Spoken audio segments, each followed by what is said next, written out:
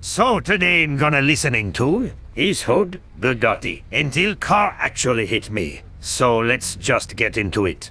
I woke up in a new